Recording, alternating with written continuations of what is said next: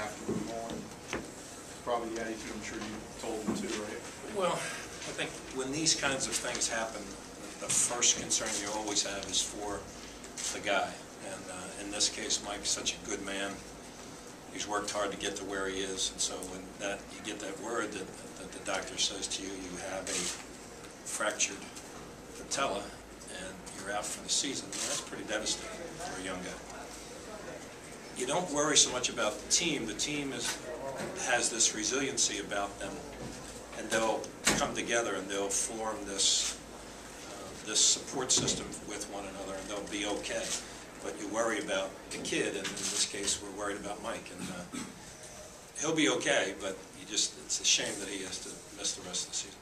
Randy Harper, a pretty tough guy to handle. Jefferson, when went man-to-man, did a pretty good job. Yeah, I mean, Rahlir's, a, he can do a real good job on a guy like Harper, uh, because he has got some speed, quickness, and length, and, but Justin Harper is a really talented offensive player, and I thought we, we guarded him about as good as we could have tonight. Fran, when did you guys, when did you guys know for sure that he was gonna be out for the year? Mike? I'm Mike? sorry, yeah. Wednesday, Oh, yesterday. Hey, Fran, their matchup that given people so much trouble. Yeah. Didn't give you trouble. Well, I- it- we, we, I thought we moved our bodies as well as we moved the ball, and then we made shots, and we made shots early, and it- it- we got some confidence about ourselves. And when you make shots, it looks like you know what you're doing. Uh, Be honest with you, I think their defense is really good, and I thought we, we uh, played against it about as good as we could tonight. We made shots, and uh, I thought they had some open looks that they didn't convert, and that helped us. But uh, we played about our best basketball game of the year, I think, as I uh, await, I'll make that decision after I watch the film later on tonight. But I thought we played about as good as we could play. Juan, Juan was one of those guys making shots. Yeah. How, how do you as a coach even approach a slump? Ignore it? Don't Yeah, I think you do, you do all, all sorts of things, and, uh, you know, but you, you, he's a tough guy and a, and uh, a talented guy, and those, that's a good combination. You know he's gonna eventually get out of it, because he's had some, he's had a great deal of success in the past, and just kind of ride it out, you know, and luckily, we've had some other guys step up and do some good things, and so certainly, we needed him tonight to have this kind of game that he had. Fran, Talk are about the are your kids, system. I'm sorry, Mike, go ahead. Talk about the support system. They go to Dayton without going and win. Big game tonight for, you know, second place and win, so Yeah, I think it, it speaks to the team, but I- as I said to you before, I think teams are resilient if they're good, and if they're tough, and if they're intelligent, and I think we have some real good ingredients with this group. And they just say, you know what, this guy's out, somebody else has to pick it up and, and take his place. So Rahlir did a really good job of that, and uh, really happy for him. But we had a night like tonight where Lavoy did not get himself into foul trouble, and he's such a rock back there defensively, and he's, he has some blocks, he has three blocks, he has eight rebounds, and, but he's always in the right spot defensively, and you can't, we can't play too many minutes without him, so we we got a long way to go yet. is he up at the 100 or, you know? No, I don't think so, and he, he you know, it's the first time he's run much where the, he got hurt, uh, you know, in the, in the Fordham game, so that was last Wednesday, and uh, he hadn't run a whole lot since last Wednesday, so, but again, he's, he is a horse, he's a strong, strong guy. Fran, they cut it to five early in the second half, and Yeah. you guys scored 16 points in under four minutes there. What did you see during that stretch, uh, offensively and defensively? You know what's funny, I, I appreciate the question, and we were, we were struggling a little bit. Uh, I thought we made some bad decisions on shots and on passes early in that second half, but like Rahlir has two field goals, but one of them might have been the field goal of the game where he drove it toward the baseline in front of our bench and finished the play, and really a huge, huge shot. And then Ramone Moore had a big three as well. I thought those two shots in particular really helped us, but we had a lot of guys making shots tonight. After Fernandez, um, Fran gets his second foul early, Yeah. um, you played a a bit of zone, maybe a lot of zone in the first half. Are they as comfortable in zone as they Our are man? guys? Your guys. Uh, We, we don't work at it enough to to be real comfortable, but I think we were, I think it helped us. It- We knew that Juan was going to be in, but we also ran, uh, we also ran a little offense, defense with him toward the end of the first half, just hoping he wasn't going to get his third.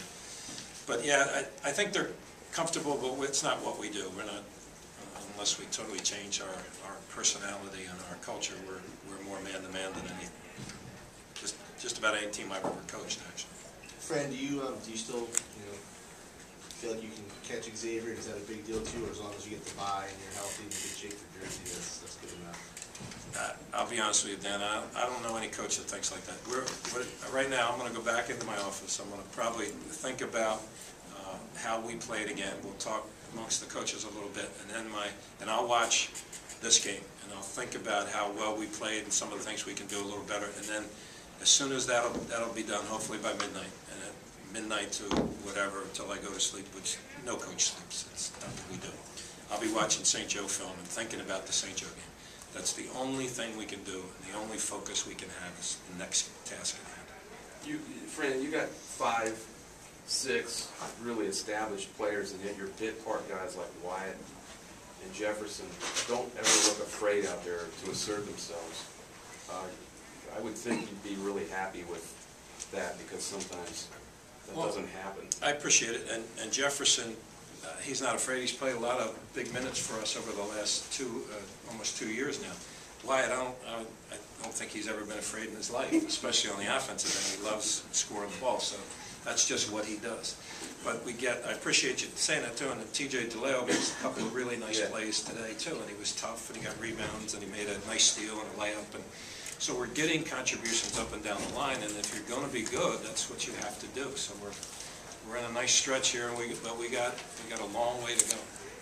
Don't, with the, I mean, I know you're worried about, you're thinking about St. Joe's on Sunday already, but, you know, Richmond's very much a, a bubble team. The A-10's had three bids the last three years. What kind of effect do you think that that perception as the A-10 as a multi-bid league, you know, comes into play in terms of teams maybe get a little bit more leeway than a CAA team in this case? I- I'd like to give you a really intelligent, profound answer. And I, I know this sounds boring, I know I'm a boring guy, but I'm thinking about St. Joe's on Sunday. It's the only thing we can do, you know, and uh, what's going to happen later on, how many teams are going to get in, it'd be great if we got a lot of teams in. But I don't, I don't know any of that, that's not something I can control. But what I can control is how we approach this game on Sunday, and uh, I'm worried about it. Brandon, these guys moving forward are gonna have to draw from the stretches of play that you guys have had when Mike has gotten into foul trouble in the past and say, we've done this before, this is this is how it's gonna look the rest of the year. Well, I, again, I think any good team calls on its experience, and we're, we're gaining some valuable experience at this point in the year, and uh, we need to be as tough as we can, as smart as we can, and and a night like tonight, we stepped up and made shots. We're not a, necessarily a fifty-six percent shooting team, that's not what we do, but I was proud of how we played the game tonight. Questions? Coach, you mentioned uh, new defensive sets, and you talked about them a little bit. How do you see Mike's, uh, Mike's injury affecting what you're going to do defensively? Are you guys guys going to keep doing what you've been doing? Yeah, not, not a lot, not a great deal. We'll, we'll still be hopefully as solid as we can be, but you're, you're missing a, you know, six foot ten of a big body out there, you know, and his presence we're missing. We're missing his personality. He's a good man, you know, and he's, uh, and, and one of, one of the things you try to guard against too is he's not gonna be playing, and when you're not playing, you don't necessarily feel as much a part of the group, and so we'll have to massage that as best we can too, to, to make sure he knows exactly how great he's been this year and how important he is to encourage all those guys that are getting his minutes now. Thanks, Coach.